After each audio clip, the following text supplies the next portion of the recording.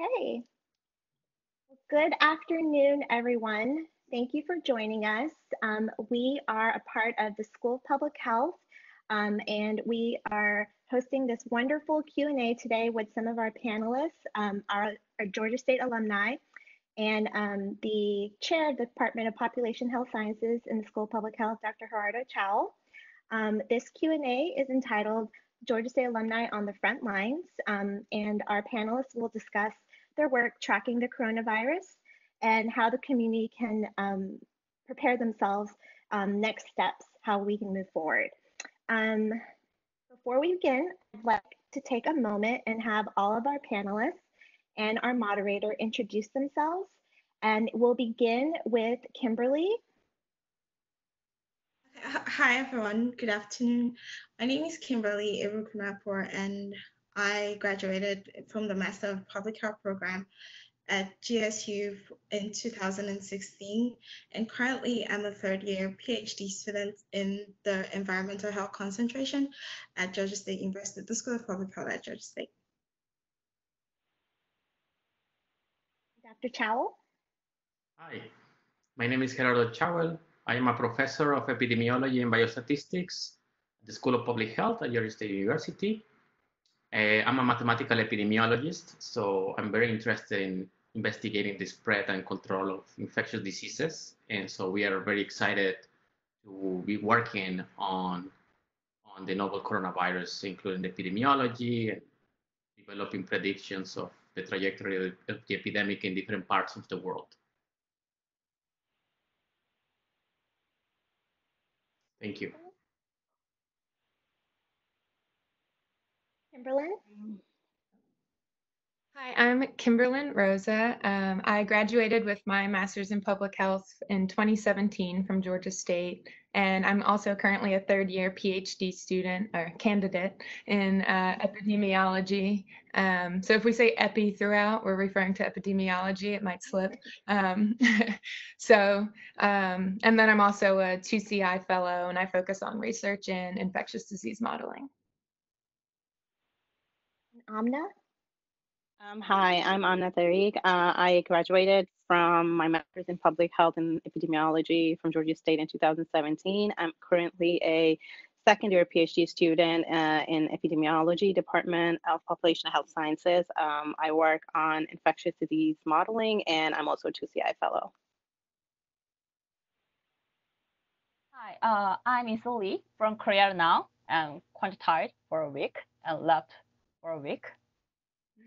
And I graduated GSU uh, uh 2019, the last year May, for the master degree public health program concentration epidemiology. And right now, I'm working as epidemiologist researcher in the Dr. Chowell's lab. Thank you. Wonderful. Thank you again, all of you, for joining us. Um, we're going to kick the conversation off with Kimberly. Um, we're interested in, to learn a little bit more about the work that you're doing with PPE, the research. I believe it's a joint collaboration with Emory. So can you describe a little bit about what PPE, PPE is? I know that acronym is being thrown around a lot in the media now, and most people know what it is. Um, and then your work towards the disinfection research on the N95 masks. Okay, uh, thank you, Homa. So my work is first you said PPE. PPE means personal protective equipment. And this is just what a healthcare worker who is interacting with a patient that has uh, an infectious disease, this is what they put on to protect themselves so that they don't get infected when they interact with the patients. So the PPE um, that is recommended right now for the COVID-19 virus for healthcare workers is gowns and masks, and they have to put on uh, gloves, obviously, and a face shield or a goggle if they have that. So my work is really focused on developing a disinfection protocol for the a kind of mask that is just not being recommended for healthcare workers to use in healthcare when they interact with patients who are positive for the COVID-19 virus. So um, this, this kind of mask was, it, it, became important to have this new kind of mask. It's called an elastomeric respirator, it became important to use to get healthcare workers to use this because what was from what has always been recommended for healthcare workers taking care of patients who have an airborne virus or a respiratory disease is an N95 excuse me, an N95 like you just talked about. And this is a disposable mask. So between patient encounters, healthcare workers are expected to put to change their mask to dispose the one they've used when they interact with patient one, and then dispose that, get a new one, and then use that for the next to four patient two. But right now there's a shortage of those kind of masks.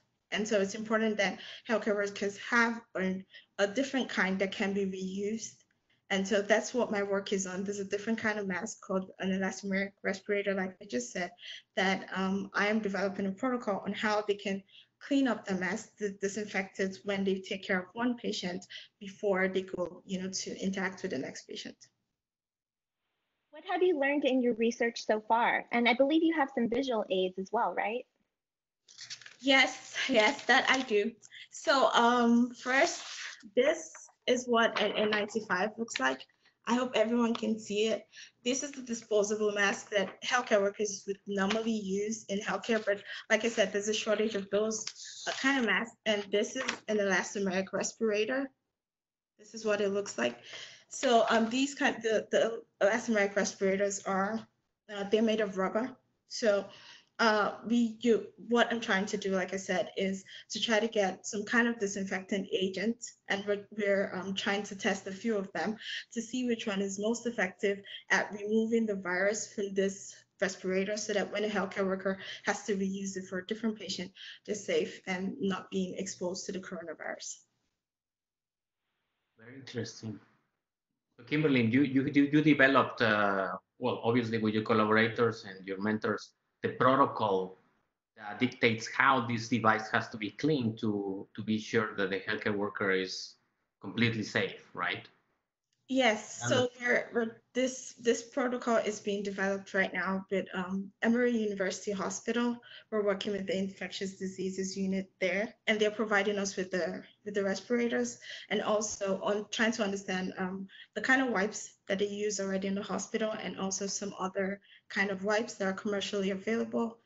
Uh, yeah. So this is a collaboration between Georgia State University and Emory University Hospital do, I understand correctly that you are testing or developing this protocol in in laboratory conditions or in the real in the real setting with patients?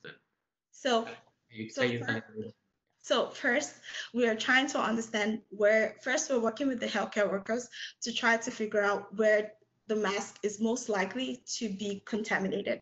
Then as soon as we have that figured out, which we, we have, so we know the specific places, and we're then taking that information into the lab to contaminate the mask using viruses that look like the coronavirus. So these are surrogate viruses that behave like the coronavirus, and we're contaminating those masks and then disinfecting them using some of the agents. I, I think I've not mentioned them yet, but some of the disinfectant agents are a quaternary ammonium or some kind of alcohol wipe or a bleach wipe or uh, this also we're also trying hydrogen peroxide as well so we're using those kind of disinfectant wipes in the labs to try to figure out which one is most effective in cleaning out their um, the the respirator.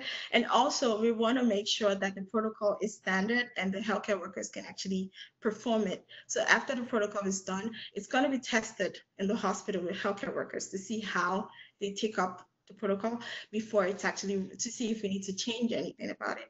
And then it will be recommended for use by the healthcare worker. So we're, we're also working with them as well in the hospital setting. Okay. How, how well advanced is this? Do you think this will be put into into use soon for healthcare workers, or does it take a long time to be sure that this is completely well developed and safe? Yeah, it might it might take a while for this to be done. Like I said, we've had a shortage of of some of the disinfectant wipes just because of the outbreak. So yes, so the, the research is kind of not not really on a hold, but we're having to work with what we have right now. But um, as, as soon as we can get more wipes, I, I believe this may take maybe two or three months, within two to three months, we might be doing our testing actually in a in the hospital setting. Yeah, is there something that you want to tell the audience Like, don't hoard on masks or definitely, definitely. Since these elastomeric respirators, we're still trying to figure out how we can make sure that they're safe for healthcare workers to use. I would say like leave the N95 mask alone. Like don't buy those so that the hospitals can have access to those because like the healthcare workers are being exposed to people who have like high titers of the virus. Like when they cough, they know, you know, they're spreading the virus in that environment. So it's very important that a healthcare worker has an N95 because the N95 is really very, it, it's been shown to protect healthcare workers in that setting where you can have like a high number of virus like in the air or in that environment. So leave the N95 mask alone. That's my that is my recommendation. Yeah. Do you think is it harder to disinfect the mask, you know, against the corona, the novel coronavirus, or or the flu, or is it about the same? Well, I, I think it's gonna. I think it's about the same because like I said, there there are surrogate viruses that we've used in the past that behave like the virus. So we we believe that it's going to be almost the same, um, you know, results we would get even with the coronavirus, like disinfecting it. Yeah, I, I was just thinking that uh, the virus probably uh, lives longer under certain temperatures or humidity levels. I'm not. I don't think you will get into that, but.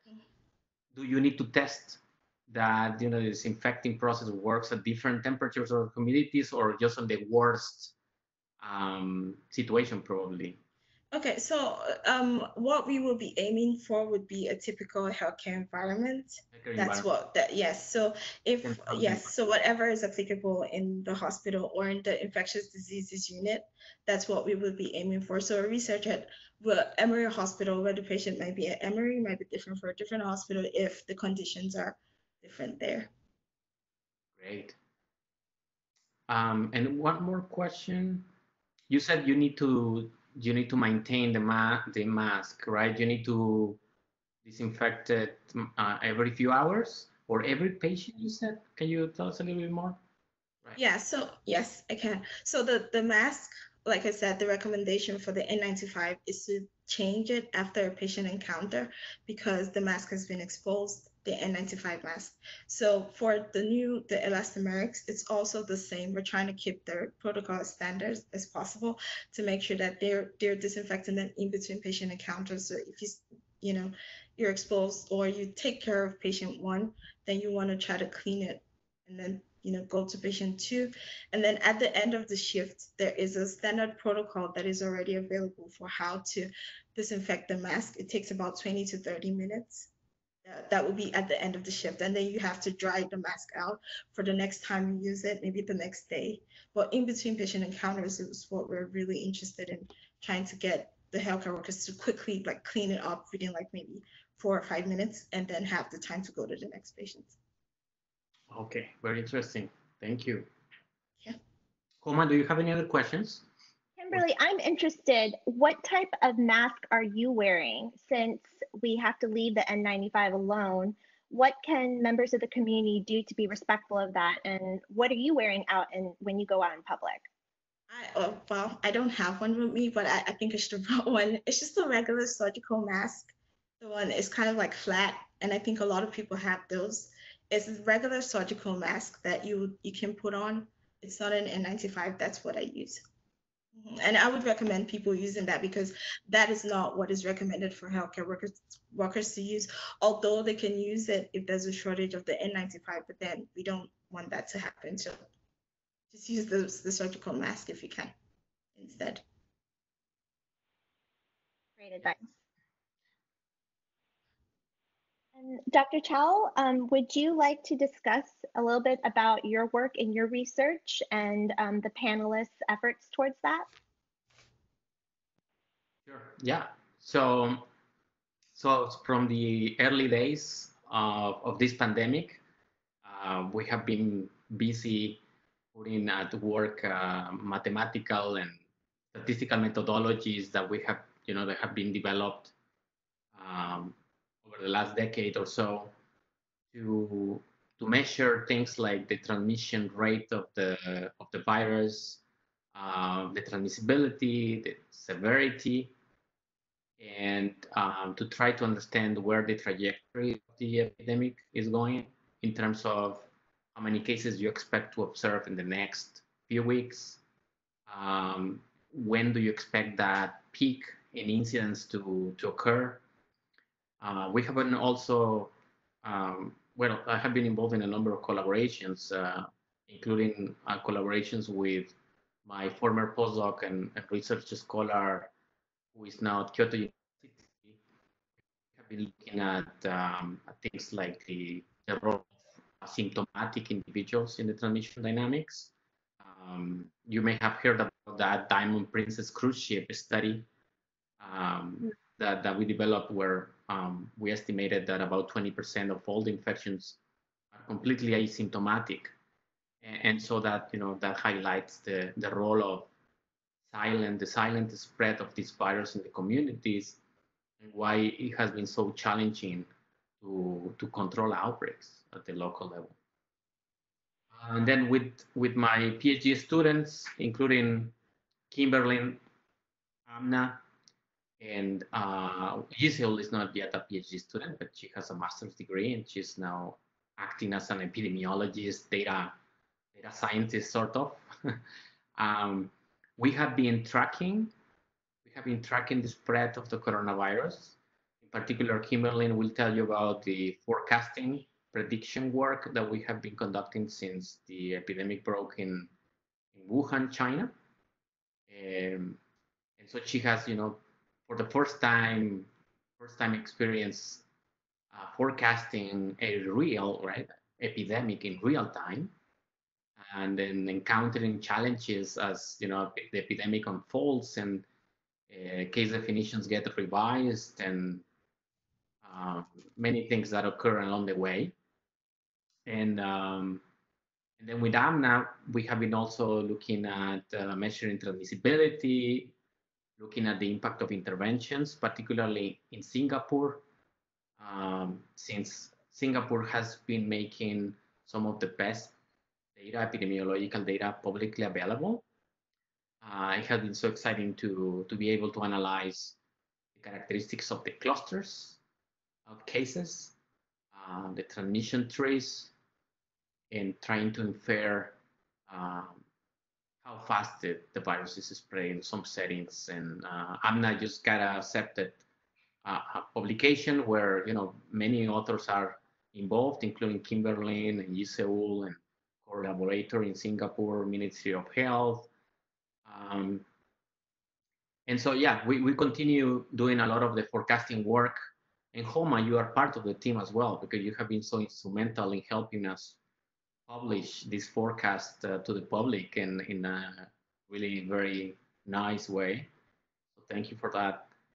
And now, Kimberly will tell you also the work that she's doing in forecasting the epidemic in the United States at the state level. You know, we have been trying different models and making adjustments on on things like uh, you know how much how much noise and how much variability the data is showing.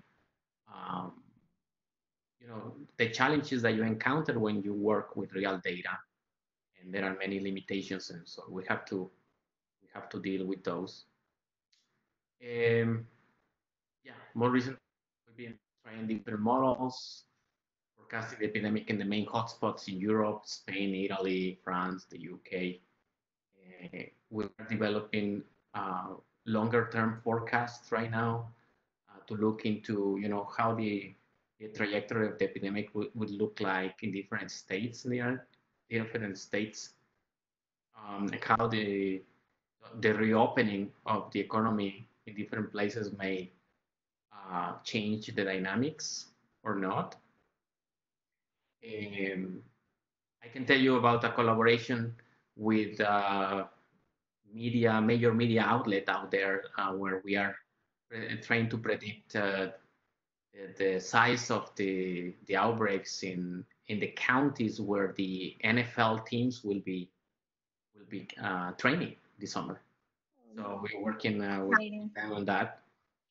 Um, yeah, a few a few things uh, every day. There is something new, something to say no to new projects.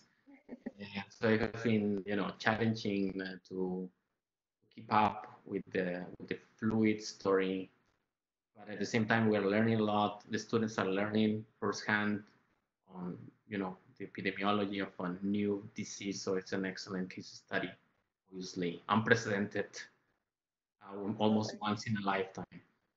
Um, yeah, so I'll stop there, and I think they will tell you even more interesting things. Awesome. Thank you for explaining it. So kimberly would you like to let us know what you're doing with the forecast on the state level? Sure. So um, we're using state level data. Um, we're actually trying out a few different data sources just because um, nobody really has access to that real data, whatever that is, where it is out there. Um, but so we are using daily case data as well as deaths um, to generate short-term forecasts on the state level, meaning um, we'll fit a model to the data and then project it forward um, either a week or two. That way we can assess things like um, how many cases we can expect in coming days, what sort of trends the data is taking on, whether we're seeing a downturn in cases or if it's still increasing, um, when we might expect that peak or highest number of cases. Um, and various short-term projections like that. Um, we hesitate to make long-term projections because of definitely the uncertainty of the situation and the data. And um, so we would not be confident saying this will be the date where this is all over by any means. Um, yeah, so we're doing, um, we're using simple models for that. Um, models called phenomenological models, which means basically just that um, only the data inform the model. So we're not incorporating disease specific information. Um, we've been using these since the start of the pandemic because um, because these don't require those biological information. Um, we can use them in early outbreaks where we don't know that information. So there are other models that use things specifically from the disease, like infectious period or latent period and different things um, that have to do with each specific disease. And in a novel pandemic, when we have this new um, virus circulating, we don't know those yet. So using those simpler models um, allow for the data to do the talking and less assumptions to be made. We actually have a question that just came in about what exactly are the models projecting and what has stood out to you in the past couple months since you've um, embarked on this project? Um, so they are projecting incidence case count, so daily incidents or how many cases we'll see each day um, ahead. So that's what we're fitting. And then we also do deaths in some as well, but same thing, but cases and deaths. Um, and I think one thing um, we've definitely seen, at least in recent weeks, is so a couple weeks ago when we started um, the, doing the, there was enough data to do state level forecasts. Um, when we started doing that, a lot of the peak timing was either expected to already have, based on the model, was expected to either already have occurred or would be coming in a few weeks. And now, um, so with the forecast I generated yesterday based on the data, um, this is no longer the case in many states. Um, so where they used to, you know, project that we're going to keep going down the curve here, now it's just kind of um, a lot more uncertainty and we're not sure that really cases are decreasing. So um, especially with states starting to reopen, I think we'll definitely see um, more increases in case data and we're certainly not on that decrease that the models were predicting a few weeks ago. Can you, can you say something about the first paper that we published, the forecasting paper? How, you still remember that? Yeah. Yeah, uh, yeah. So uh, back in February, we were. Um, it was when it was still mainly can- contained within China. We were forecasting cases within China.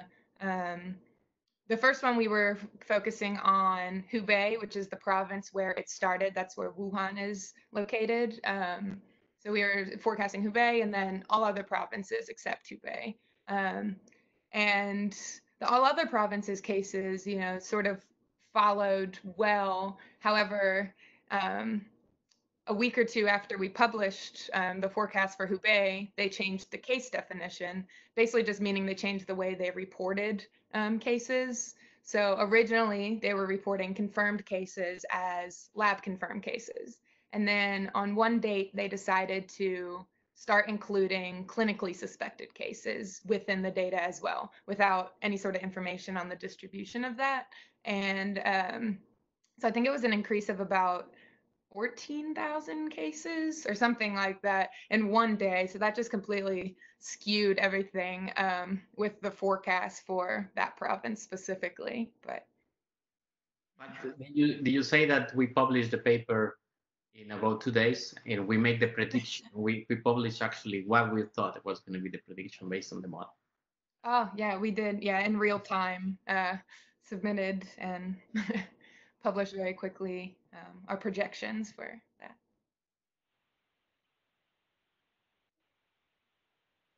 Definitely a different experience with publishing uh, than in the past, whereas normally you're waiting a few months to get your revisions. Uh, I think the process from when we submitted to got feedback to revising and submitting and publish, it was like online in a week. So uh, yeah, it was interesting.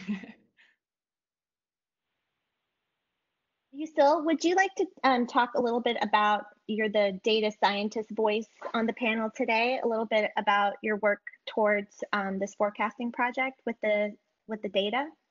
And I believe you said you might want to share your screen as well. Uh, yeah, can I?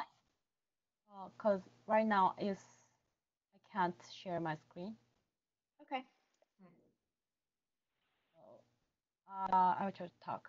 So my job is data analysis, including like uh, collecting, measure, and arrange the data depend for the uh, purpose of the study. So for this outbreak, at the first time, like uh, January and February, we focus on the China, Wuhan, which is the first country is outbreak, had outbreak. So for the data, for the China data, I collected the data from the, the National and Province Health Committee of the China. So the thing is that they don't they don't uh, save the previous data. So to save the data, I have to check every day at the same time because they uh, update like a couple of hours.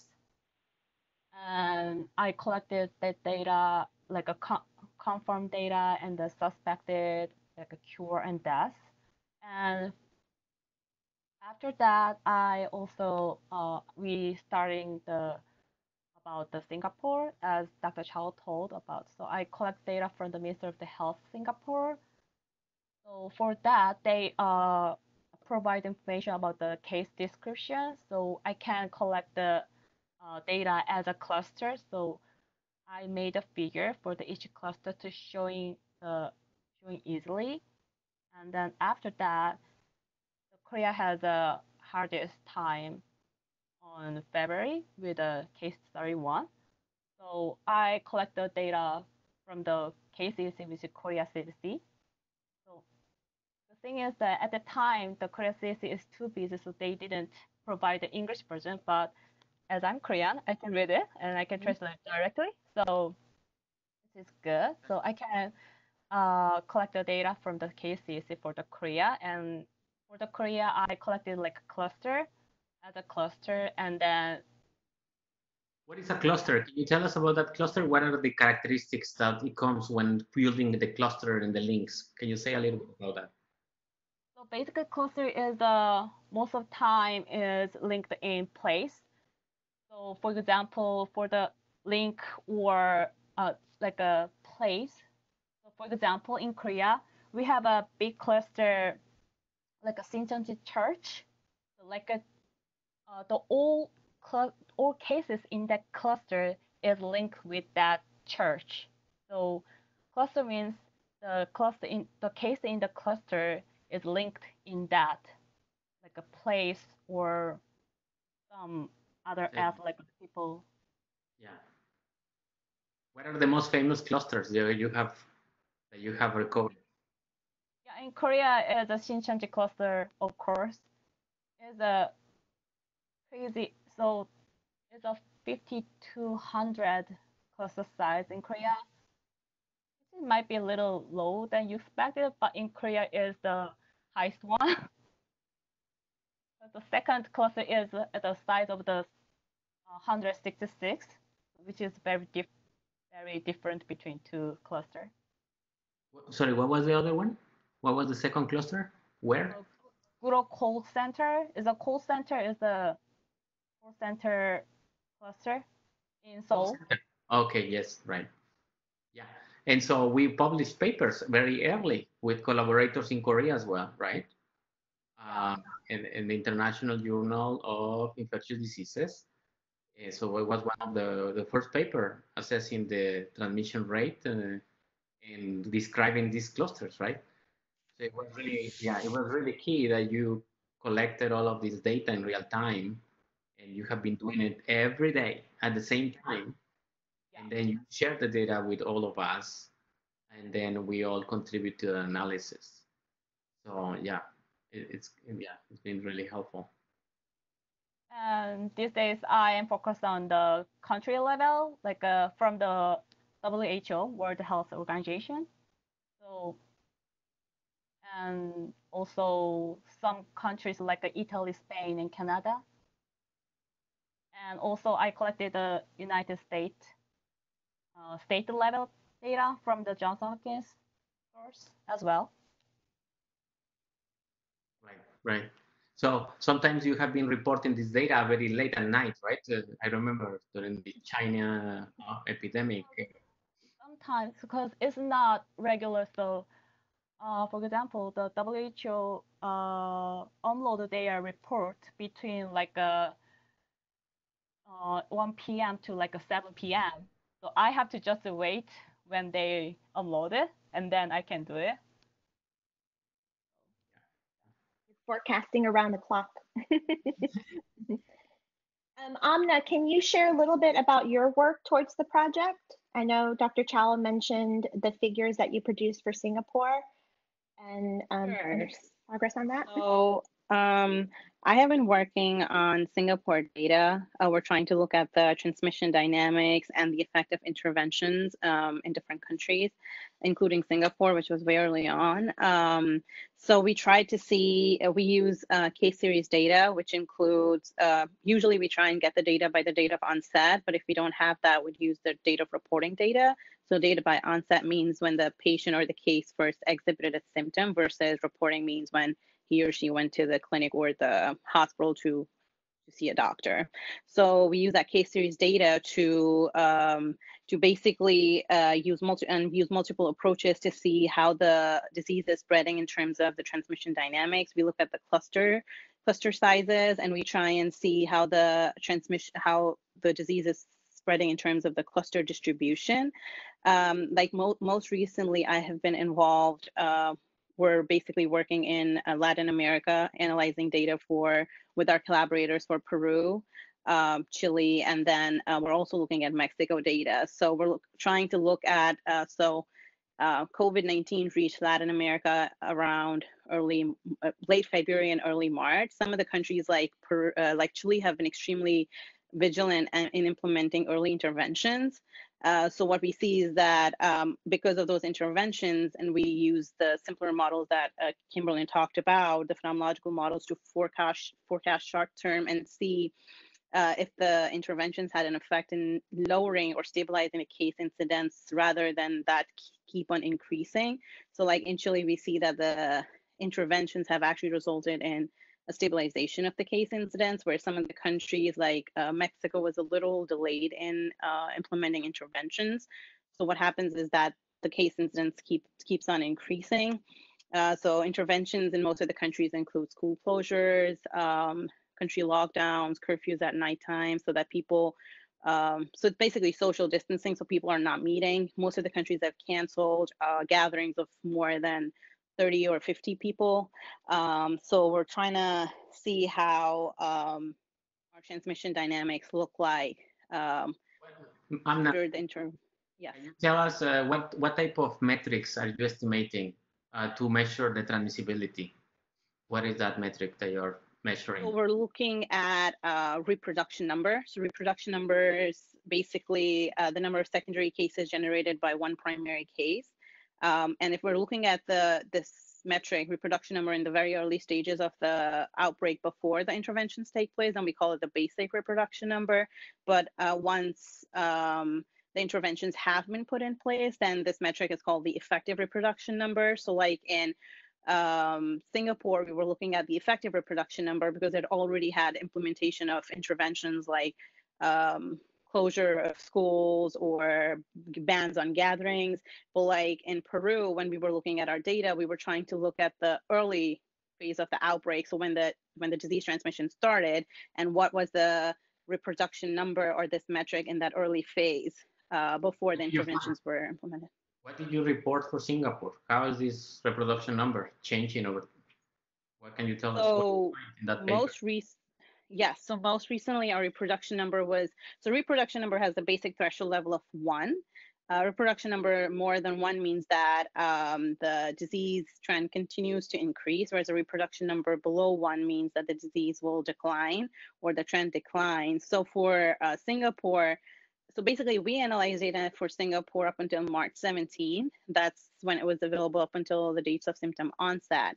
So by that time, the reproduction number for Singapore was below one, uh, which means that uh, it showed that the trend for the disease was declining in Singapore. But like for um, for some other countries, like uh, when we we looked at um, Iran, um, in one of the papers with the collaborators, reproduction number was more than one, which indicated that the disease trend is continuing to increase uh, in time.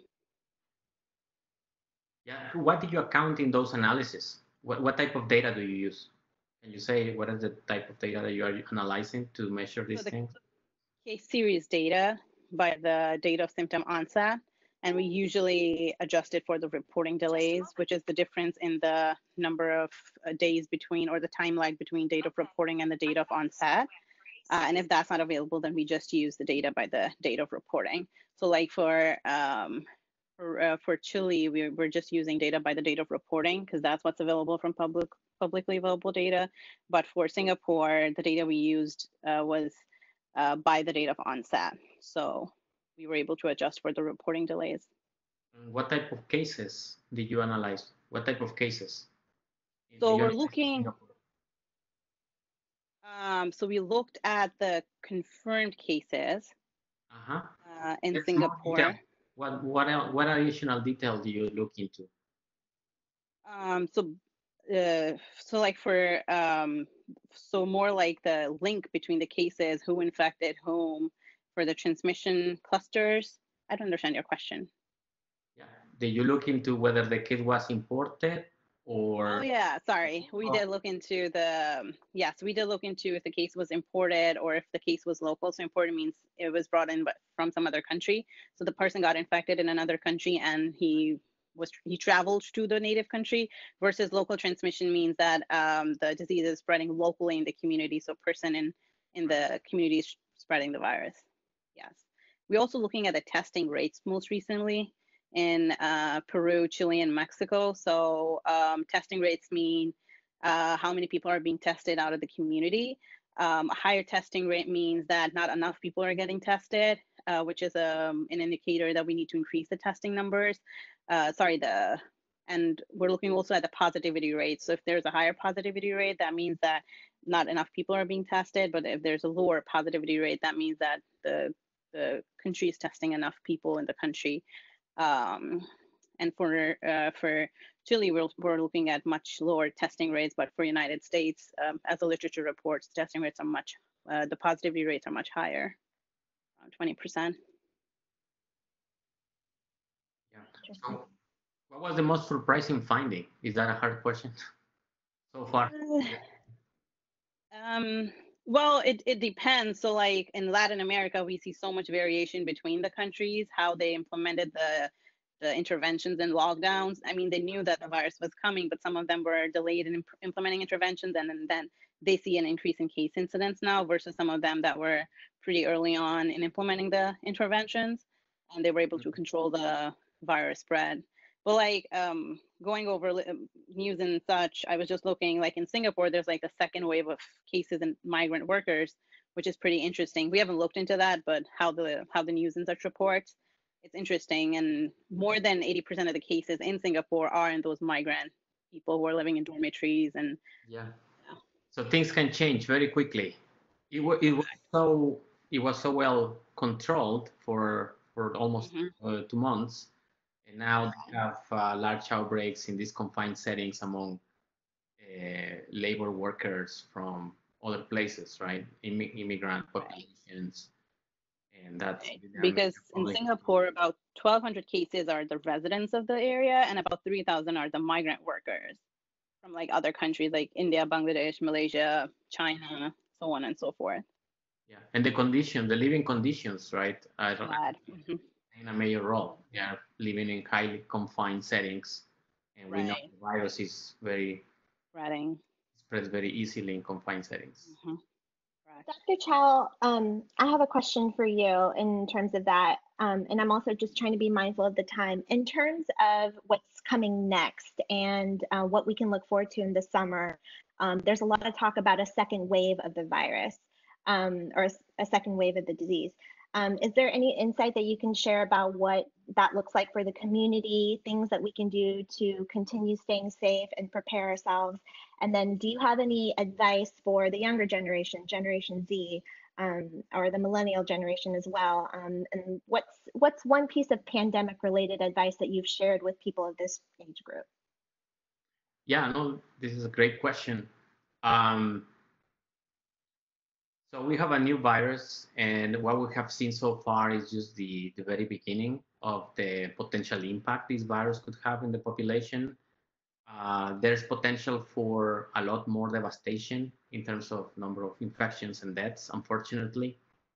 And the numbers uh, at the end of the year, or you know, within the next 10, 12 months, will depend really on the policies that are put in place in the particular population and also on how the population decides collectively to protect themselves to yeah to live with the virus. Um, so the, the, the near future doesn't look great unfortunately.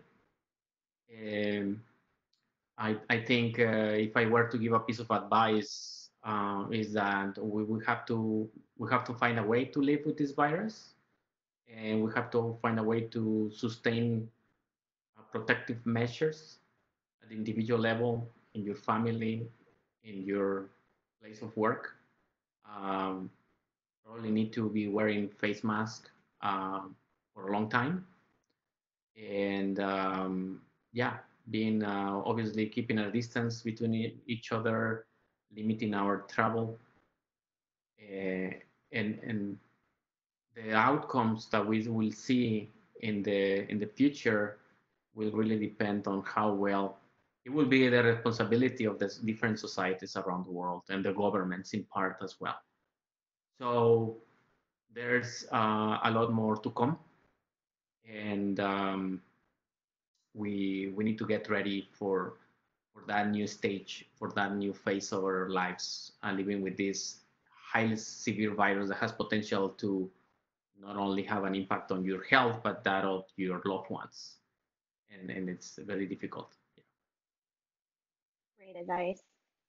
Thank you. Thank you all for taking the time to speak with us today and share your insights, share your knowledge. This is uh, a difficult time for the world, but um, we appreciate uh, that we have this amazing knowledge pool and trusted voices um, during this critical time. So thank you all for your continued work and your continued research nationally and Yiseul internationally in Korea.